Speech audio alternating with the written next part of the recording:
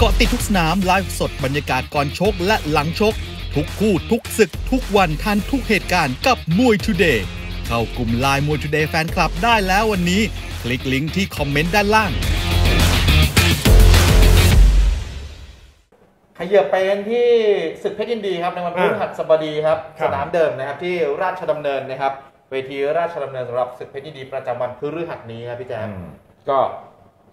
คู่แรกก็เล่นไม่ถูกนะอืมโอ้โหพจฤหัริสงๆนะแน่นจริง เออเล่นไม่ถูกแล้วเพชรยินดีเนี่ยผมแนะนำอย่างหนึงนะใครที่ดูเราไลฟ์สดอยู่ในเวลานี้นะด้วยความหวังดีเลยคุณซื้อขายเถอะคุณอย่าไปวัดถ้าอย่างนั้นเล่นซื้อขายซื้อมาขายไปซื้อมาขายไปก็อย่างที่บอกอะอย่าไปวัดเพราะมวยมันพลิกทุกคู่แล้วพวกเออแล้วมันจะมีประเภทนี้ด้วยว่าเล่นน้อยอืม ฝังไปเถอะมึงเล่นน้อยก็เอากำไรได้เออซื้อขายได้ จริงเล่นน้อยๆนะเล่น 3 0 0 500ถูกไหมพี่โน้ครัตบ อ่ากำไรคู่ละ 20 บาท 30 บาท 40 บาทใช่เนี่ยสี่คู่ได้เท่าไหร่แล้วอ่าอ่า กำไรคู่ละ50บาทสี่คู่ได้200แล้วครับอ่าถ้าเล่นคู่ละพันกำไรเท่าไหร่อะใช่ไหมพูดถึงว่าไปครับแต่งตัวเอาอะใช่ไหมเพราะมันไม่มีมวยแบร์อืมมันไม่มีมวยแบร์จริง ๆ แล้วที่ผ่านมาทุกคนก็เห็นอยู่แล้วครับ คุณไปต่อ แล้วพลิกกลับมาไปลองคุณจะอยู่ติดไหมก็อยู่ไม่ติด ใช่ไหมแล้วถ้าคุณ คือถ้าคุณซื้อมาขายไปเนี่ย มันอยู่ได้ถ้าอย่างไงซื้อมาขายไปนี่มันอยู่ได้ คุณกล้าลงทุนลองไปก่อน แล้วก็พอมันพลิกกลับมาคุณก็ขายทิ้งแล้วก็เล่นใหม่อีกไม้หนึ่งก็ได้ ใช่ไหมเพราะตอนเนี้ยเล่นได้ตลอดถูกไหมครับเอใช่อครับมันเล่นได้ตลอดราคาเขาก็ใครอะกันมันก็ส่งให้ตลอดอ่าใช่ป่ะมีแอดมินกลุ่มส่งราคาก็ส่งราอ่าคาบอกตลอดราคาก็บอกอยู่ตลอดอยู่แล้วบรรยากาศก็อะบอกคุณด้วยดูจังหวะดีๆ คุณก็กดปุ๊บเข้าไปอ่าก็ประมาณอย่างนี้แหละใช่ป่ะอะยอดเอกกับตันทีมคู่นี้ก็คู่ขี้สุดๆครับอ่าคู่นี้ก็คู่ขี้กับตันทีมช่วงหลังก็ดีเหลือเกินลูกชายของไทยแลนด์ไงใช่คครัรับบใช่ป่ะอ่าแต่ยอดเอกมันก็ชนะจิ๊กซอว์มาแล้วอืมถ้าถามว่ากับตันทีมกับจิ๊กซอว์เพื่อนร่วมค่ายกันเนี่ยใครดีกว่าอ่า จริงว่าใครดีกว่า กับตันทีม อ่า ก็ดีกว่าแต่ว่าเจอยอดเอกยอดเอกนี่หน้าเสือใหญ่เบิ้ลเริ่มเทิมเลย อ่ายอดเอกชนบุรีอาร์ตมีเดียกกรุ๊ปรุ๊ปเนี่ย อ่า ใช่ป่ะนี่ผมพูดจริงผมเห็นมวยคู่หนึ่งสองสามอะสามคู่แรกผมเล่นเลือกไม่ถูกเชียร์เล่นไม่ถูก อ่าจริงแต่มีคู่หนึ่งผมเห็นฟอร์มครั้งที่แล้วแล้วโอ้โหต้องรอดตรงข้ามเลยพรุ่งนี้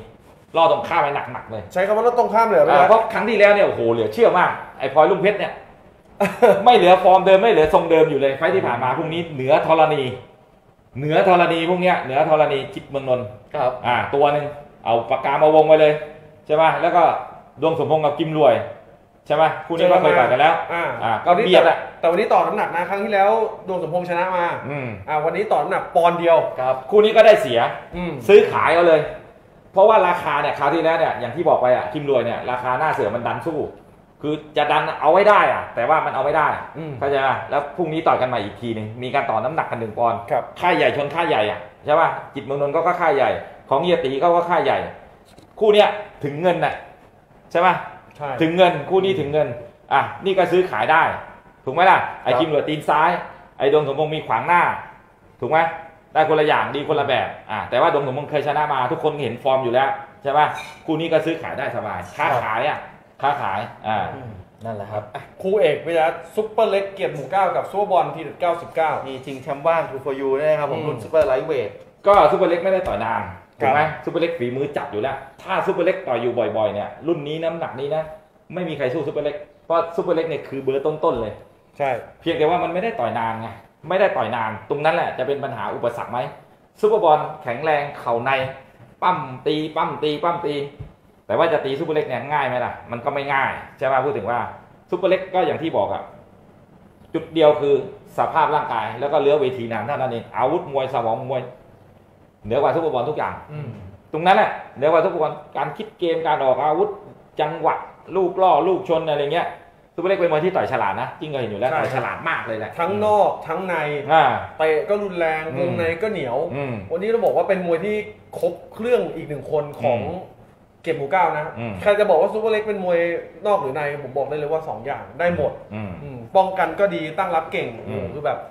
ผมชอบนะ นี่ถือว่าเป็นมวยที่ผมชอบที่สุดในประเทศไทยเลยนะ จริงๆแล้วซูเปอร์เล็กเนี่ยเป็นมวยที่แบบว่าผมชอบทรงนี้สไตล์นี้มากๆเลยนะทรงนี้สไตล์นี้มากๆเพียงแต่ว่าจุดเดียวคือซูเปอร์เล็กไม่ได้ต่อยนานเรื้อเวทีไปนานแค่นั้นเองอย่างอื่นมีหมดทุกอย่างพี่โน้ตครับอ่าก็นั่นแหละนะครับคู่เอกนี้น่าจะชอบทางซูเปอร์เล็กกันทั้งคู่เลยนะผมว่านะ ต้องไปก่อน ต้องไปก่อนต้องไปก่อนถ้าจะแพ้แพ้สภาพก็ครับก็คือไม่ได้ต่อยนานไม่ได้ต่อยเป็นปีเลยอะซูเปอร์เล็กนานจริงใช่ไหมเออนั่นนะครับโอ้โหเกือบปีเลยโอ้อืมนี่ครบรอบปีพอใช่ดีไหมรุ่งกิจป่ะต่อยกับรุ่งกิจป่ะใช่ครับรุ่งกิจนู่นเลยครับแปดเมษาก็ปีหนึ่งพอดีใช่เลยอืมเนี่ยเนี่ยถ้าจะแพ้ก็แพ้มวยทรงแบบนั้นอะอืมเนี่ยก็ประมาณอย่างเงี้ยนะครับอะเลือกเอาแล้วก็รอบหลังก็มีใครอะมีเพชรเอเชียใช่ป่ะมีเพชรศักดา เพชรฉายแสง เพชรน้ำงามอ่าเพชรน้ำงามเพชร อ่ารอบหลังนะรอบหลังนะเพชรน้ำงาม เพชรอ่าเอเชียครับแล้วก็เพชรศักดาครับนั่นน่ะเพชรเพชรอะรอบหลังๆอะเอารอบหลังเอาที่มีเพชรเพชรก็อะมีเออโอ้ยพี่เออเอาปากกามาวงไว้โอ้แต่รอบหลังนี่เพชรเยอะเหลือเกินนะพี่คู่เอกก็อ่าเพชรตัดเพชรแล้วนะเพชรฉายแสงกับเพชรน้ำงามนี่ชเอาอบเพชรเพชรอะเอาเพชรเพชรอะเอออ่าชอบเพชรน้ำงามใช่ไหมพี่มีอ่าเพชรเอเชียเพชรศักดาแล้วก็เพชรน้ำงามอืมอืมคู่หลังนะไอ้อ่าช่วงหลังนะครับอืมเ